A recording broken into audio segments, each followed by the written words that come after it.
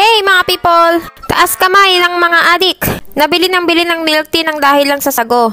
Oh, guilty ka no? Kaya i-homemade na lang natin yan, one to sawa ka pa. So magmix lang tayo ng sugar, water, tsaka kung gusto nyo mas black, maglagay kayo ng food color. Tapos gagamit tayo ng tapioca flour. Ang mga magtatanong, yan po ay flour made from kamote. Naglagay lang ako ng 3 tablespoon ng tapioca flour dun sa ating sugar mixture. Then pag malapot na yon, ibubuhos ko na lahat ng tapioca flour. Then masahin natin yan and i-roll natin siya pahaba.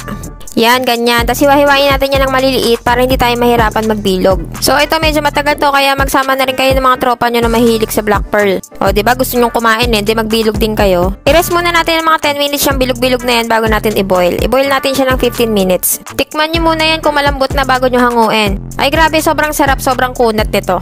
Tapos niluto ko na lang ulit siya sa brown sugar para matamis. And that's it, ready to serve ng ating boba pearl. Thank me later and enjoy!